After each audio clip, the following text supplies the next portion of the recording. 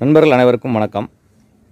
நம்ம இன்றைக்கி நம்ம மாடித்தோட்டத்தோட மே மந்தோட ஃபோர்த் வீக் அப்டேட் பார்க்க போகிறோம் ஸோ நாலாவது வாரத்தில் நம்ம என்னென்ன வேலைலாம் செய்ய போகிறோம் அப்படின்னு பார்க்கலாம்.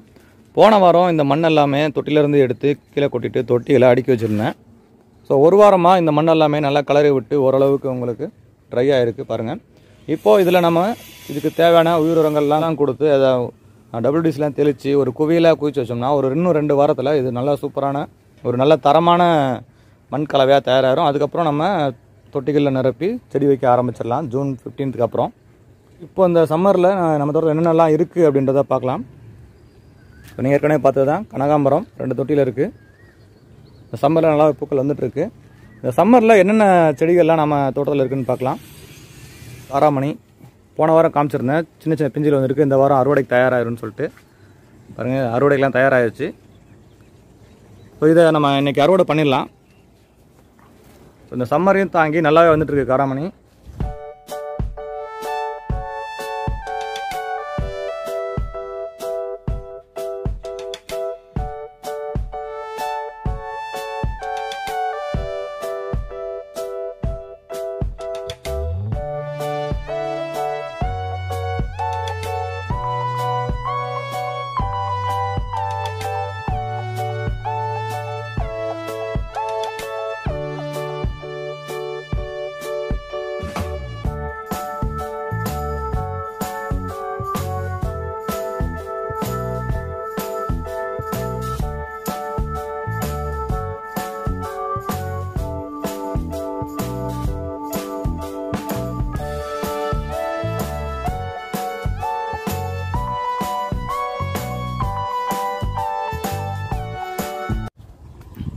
அவரை ஓரளவுக்கு பூ வச்சிருக்கு செடி அவரை இது ஸோ இந்த சம்மரில் வந்து அவரையெல்லாம் அட்வைசபிள் இல்லை. இருந்தாலும் சும்மா வச்சு விட்டுருந்தேன்.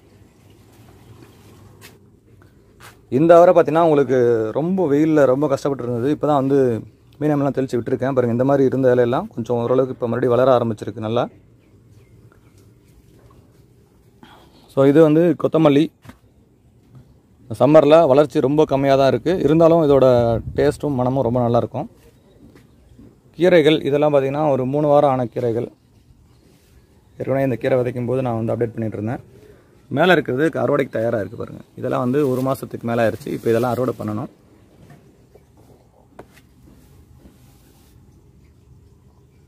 இதெல்லாம் பார்த்திங்கன்னா சிகப்பு பொன்னாங்கண்ணி பக்கத்தில் புதினா செடிகள்.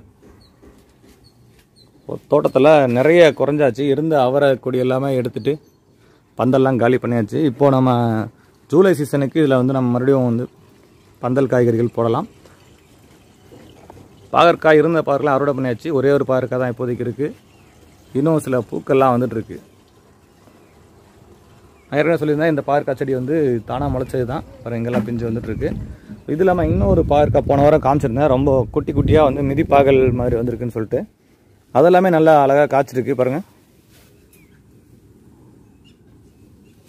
இங்கெல்லாம் இருக்கு பாருங்கள்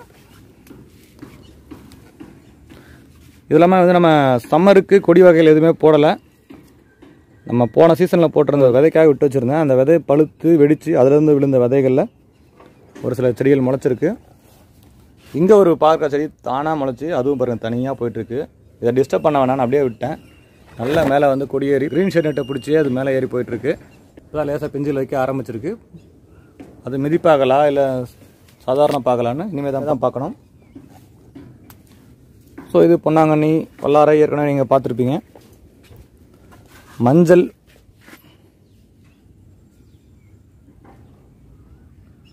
ஓரளவுக்கு வளர்ந்துட்டுருக்கு.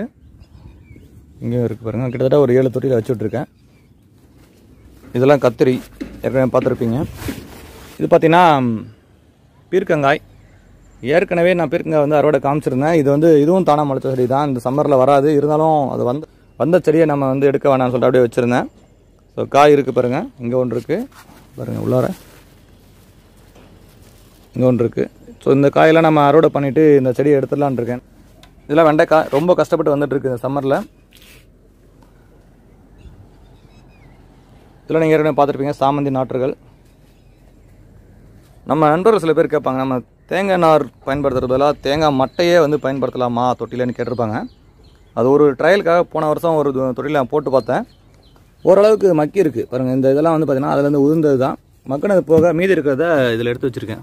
அதை நம்ம உரிக்கும் போது சின்ன சின்னதாக உரிச்சு போட்டோம்னா ஓரளவுக்கு மக்கிறதுக்கு வாய்ப்பு இருக்குது அது மட்டும் இல்லாமல் இந்த சிமெண்ட் தொட்டி நான் ஏற்கனவே உங்களுக்கு வீடியோ போட்டிருந்தேன். அதில் வந்து உள்பக்கத்தை என்னால் காமிக்க முடியல. இப்போ நீங்கள் வந்து இந்த வீடியோவில் பார்க்கலாம். பாருங்கள் இந்த சிமெண்ட் தொட்டி இந்த மாதிரி தான் இருக்கும். ஒரு அடி ஆழத்துக்கு நல்லாயிருக்கும் இது வந்து நம்ம க்ரோ பேக்கை விட நல்லாவே இருக்கும். இது வந்து கிட்டத்தட்ட அதான் எட்டு வருஷத்துக்கு முன்னாடி நான் செஞ்சது. இதை பேஸ் பண்ணி தான் இந்த க்ரோ பேக்ஸ்லாம் நான் ரெடி பண்ண ஆரம்பித்தேன் இப்போ இந்த க்ரோ பேக்கில் நம்ம இதில் வந்து வெறும் தேங்காய் நார் மட்டும் இருக்குது நான் சொன்னேன் இல்லைங்களா ஃபஸ்ட் ஃபஸ்ட்டு ஒரு நாலு இன்ச்சுக்கு வெறும் தேங்காய் நார் மட்டும் போடுவேன்னு சொல்லிட்டு. இந்த தேங்காய் நார் தான் இது. ஸோ இது மேலே இருந்த மண்ணெல்லாம் எடுத்து நான் குவிச்சு வச்சுருக்கேன். தேங்காய் நார் மட்டும் அப்படியே விட்டு வச்சுருக்கேன். நான் இந்த தொட்டி இந்த மண் எல்லாமே மொத்தமாக வந்து ப்ராசஸ் பண்ணிட்டு இந்த வாரத்தில் இந்த மண் எல்லாமே வந்து சரியான கலவையில் கலந்துட்டு அடுத்த வாரத்தில் உங்களுக்கு எப்படி நான் நிரப்புறேன் அதை எப்படி வந்து எல்லாத்தையும் அரேஞ்ச் பண்ணுறேன்றதை நான் கண்டிப்பாக ஒரு வீடியோ பதிவிடுறேன். ஸோ நம்ம தோட்டத்தில் இப்போதைக்கு பூச்செடிகளுக்கு பூக்களுக்கு குறைவே இல்லை. நல்லா நித்திய மல்லிப்பூலாம் வந்து நல்லா வந்துட்டுருக்கு. அது மட்டும் இல்லாமல் நம்ம நண்பர்கள் கேட்டாங்க நிறைய பேர் வந்து முல்லை அல்லது மல்லிச்செடிக்கு எப்படி பந்தல் அமைக்கிறதுன்னு சொல்லிட்டு. நான் இப்போ தான் இந்த வருஷம் தான் வாங்கி வச்சுருக்கேன் வந்து முல்லை செடி இது ஒரு முல்லை செடி இது வந்து மல்லி. இதுக்கு வந்து நான் இன்னும் பந்தல் அமைக்கலை. நான் இதுக்கு பந்தல் அமைக்க போகிறேன் அதை அமைக்கும் போது அதை உங்களுக்கு வீடியோவை கண்டிப்பாக கொடுக்குறேன். இப்போ முருங்கை போன வாரம் காமிச்சிருந்தேன். அதில் சில அறுவடையும் எடுத்துட்டேன். இன்றைக்கும் இதில் அறுவடை பண்ண போகிறேன் அதையும் நான் உங்களுக்கு காமிக்கிறேன். நல்லா வந்துட்டுருக்கு பாருங்கள் பிஞ்சுகள்லாம் நிறைய இருக்குது ஸோ இதெல்லாமே பார்த்திங்கன்னா இந்த தேமூர் கரைசலோட மகிமை தான். இது ஆரம்பத்தில் இந்த மரத்தில் வந்து ஒரு ரொம்ப கம்மியான காய்கள் தான் காய்ச்சிட்டு இருந்தது. பூக்கிற பூக்கள்லாம் கொட்டி போயிடும் ஸோ இப்போ வந்து பார்த்திங்கன்னா நல்லா வந்து காய் வருது. காரணம் என்னென்னா தேமூர் கரைசல்லாம் தெளித்து விட்டதுக்கப்புறம் நல்ல நிறைய பூக்கள் வந்து காயாகுது. உங்களுக்கு பார்த்தாலே தெரியும். நான் உங்களுக்கு வந்து இந்த பூவை ஜூம் பண்ணி காமிக்கிறேன். இந்த பூவில் எல்லாத்துலேயும் வந்து பிஞ்சாயிட்டு இருக்கு இன்னைக்கு இந்த முருங்கைக்காயை அறுவடையும் பண்ண போகிறோம் அதையும் நான் வந்து அட்டாச் பண்ணுறேன் இந்த வருஷம் நிறைய காய்ச்சிருக்கு. போன வருஷத்தை கம்பேர் பண்ணும்போது இந்த வருஷம் ரொம்ப நல்லா காய்ச்சிருக்கு. போன வருஷம் இதுக்கு நான் வந்து மரத்துக்கு அஹ், தேமூர் கசல் ட்ரை பண்ணல. இந்த மரம் வந்து பார்த்திங்கன்னா இன்னும் கொஞ்சம் ஹைட் கம்மியாக இருந்தது. அதனால் வந்து இங்கேருந்து தெளிக்க முடியல. இந்த வருஷம் தான் இந்த மரத்தை கட் பண்ணி கொஞ்சம் கொஞ்சமாக சைட்லலாம் கட் பண்ணி மாடி வரைக்கும் எடுத்து வந்திருக்கேன். அதனால் நிறைய காய்கள் காய்ச்சிருக்கு. தேமூர் கரசல் தெளிச்சதால். நான் நிறைய நண்பர் கேட்குறாங்க இது மாடி தோட்டத்தில் இருக்கான்னு சொல்லிட்டு. மாடி தோட்டத்தில் இல்லை நான் உங்களுக்கு இது காமிக்கிறேன். தரையில் வந்து பார்த்தீங்கன்னா ஒரு மூணு அடி கேப் தான் இருக்குது உங்களுக்கு பார்த்தாலும் தெரியும். காம்பவுண்டுக்கும் நம்ம வீட்டுக்கும் ஒரு மூணு அடி கேப் தான் இருக்குது அந்த கேப்பில் அந்த மரத்தை வச்சுருக்கேன். மரத்தை வச்சு இந்த சைடு கிளைகள் எல்லாமே கட் பண்ணி கட் பண்ணி கொண்டு வந்திருக்கேன் மேலே. கிட்டத்தட்ட இருபது இருபத்தஞ்சடி அடி கிட்டத்தட்ட வந்தாச்சு. இந்த உயரத்துக்கு மரத்தை தானாக தனியாக வளர்க்க முடியுமா அப்படின்னா கண்டிப்பாக முடியாது. நீங்கள் ஏதாவது கயிறு போட்டு கட்டி தான் வந்து நான் எடுத்து வரணும். பாருங்கள் இதில் வந்து நான் கயிறு கட்டியிருக்கேன்.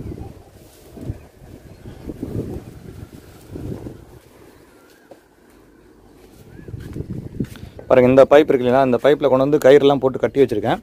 இந்த மாதிரி கட்டி வச்சா தான் மரம் நிற்கும் முருங்கை மரம்னா நமக்கு இவ்வளோ ஹைட்டுக்கு வந்து கொண்டு வரணும்னா அடிக்கிற காற்றுல வந்து சாஞ்சிரும் மரம். நல்லாவே காய்ச்சிட்டுருக்கு நெல்லி மரம் காமிச்சிருந்தேன். போன வாரம் காய் இருக்குன்னு சொல்லிட்டு உள்ளார. நான் உங்களுக்கு இன்னைக்கு அதை அறுவடை பண்ணி காமிக்கிறேன். புதினா பாருங்கள்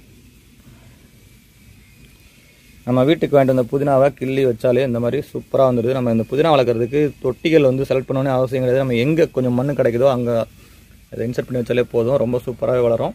இது பாருங்கள் ஒரு சாதாரண சிமெண்ட் தொட்டி தான். அந்த தொட்டியில் தான் இதை வச்சுருக்கேன். ரொம்ப நல்லாவே வந்திருக்கு. மற்றபடி லெமன் சுண்டைக்காயெல்லாம் பார்த்தீங்கன்னா உள்ளார இருக்குது அங்கே நம்ம போக முடியல. நான் இப்போது தோட்டத்தை சுருக்கி இந்த மண் கலவெல்லாம் ரெடி பண்ணுறதுக்காக எல்லாத்தையும் ஒரு இடத்துல நகர்த்தி வச்சுருக்கேன். அதனால் உள்ளார போக முடியல. இப்போ இந்த மண் கலவை எல்லாமே வந்து இந்த வாரத்தில் நான் என்னென்னலாம் வந்து இதுக்கு ஆட் பண்ண போகிறேன் ஆட் பண்ணிவிட்டு இதை கலக்கி எப்படி நான் வந்து பயன்படுத்துகிறேன் அப்படின்றத கண்டிப்பாக ஒரு வீடியோவை பதிவிடுறேன். நண்பர்களுக்கும் பயன்படும். இனிமே கூட தேவையான நம்ம மண் எல்லாமே நம்ம தொட்டியில் இருக்கக்கூடிய மண் எல்லாமே எடுத்து கீழே கொட்டி அதை நல்லா பதப்படுத்தி நீங்கள் தொட்டியில் நிரப்பலாம். தொட்டியில் ஏற்கனவே இருக்க மண்ணில் அப்படியே செடி வச்சிங்கன்னா செடியோட வளர்ச்சி ரொம்ப கம்மியாக தான் இருக்கும். நிறைய பேர் சொல்கிறாங்க நம்ம ஃபஸ்ட் டைம் வைக்கும்போது ரொம்ப நல்லா செடி வந்தது இப்போ வந்து சரியாக செடி வளரல. அப்படின்னு நிறைய பேர் சொல்கிறீங்க அதுக்கு காரணம் என்னென்னா மண்ணை வந்து நான் கரெக்டாக நீங்கள் எல்லாத்தையும் எடுத்துகிட்டு புதுசாக கலந்து வைக்கணும். அதுக்காக நீங்கள் மண் எல்லாத்தையும் தீர தூக்கி போட்டு புது மண்ணெலாம் ஆட் பண்ணணும்னு கிடையாது. பழைய மண்ணே நம்ம அதுக்கு தேவையான சத்துக்கள் எல்லாமே ஆட் பண்ணணும். உயிர் உரங்கள் கொடுக்கணும்.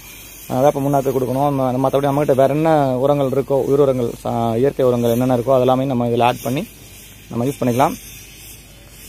இப்படி பண்ணும்போது நமக்கு செடிகளோட வளர்ச்சி ரொம்ப நல்லாயிருக்கும் நான் நீங்கள் ஜூன் ஃபஸ்ட்டில் கூட ஸ்டார்ட் பண்ணலாம். நம்ம ஜூன் பதினஞ்சுக்கு மேலே தான் அடுத்த சீசனே ஸ்டார்ட் பண்ண போகிறோம் அப்படி இருக்கும்போது நம்ம ஜூன் ஃபஸ்ட்டு கூட நீங்கள் ஸ்டார்ட் பண்ணலாம். நான் வந்து கொஞ்சம் முன்னாடியே வந்து உங்களுக்கு கொடுக்கணும் வீடியோன்றதுக்காக கொஞ்சம் முன்னாடியே வந்து ஸ்டார்ட் பண்ணியிருக்கேன் இந்த வாரம் மே மந்தோட ஃபோர்த் வீக் அப்டேட் எவ்வளோ தான் இந்த தகவல் உங்களுக்கு பிடிச்சிருந்தனா லைக் பண்ணுங்கள் உங்கள் நண்பர்களுக்கும் ஷேர் பண்ணுங்கள் மறக்காமல் நம்ம குணா கார்டன் ஐடியாஸ் சேனலை சப்ஸ்கிரைப் பண்ணிங்க. மேலும் இதே மாதிரி ஒரு நல்ல பயனுள்ள வீடியோவில் சந்திக்கலாம். நன்றி. வணக்கம்.